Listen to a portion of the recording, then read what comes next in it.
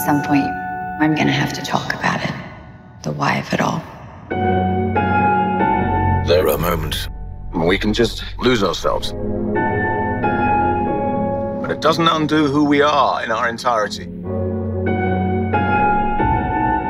I'll fix this.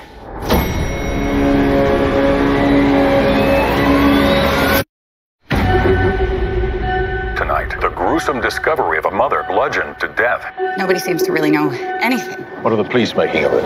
Mom, you're acting strange. Detective Justin Mendoza, NYPD. We are investigating a crime. So if you know something, tell us what it is.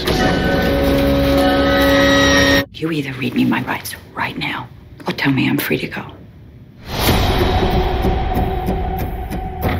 Why were you there that night? I was walking. It's just such a coincidence, isn't it? You are going to believe in things you shouldn't. I wanted this to be called. Whatever you've heard, it's worse than you think.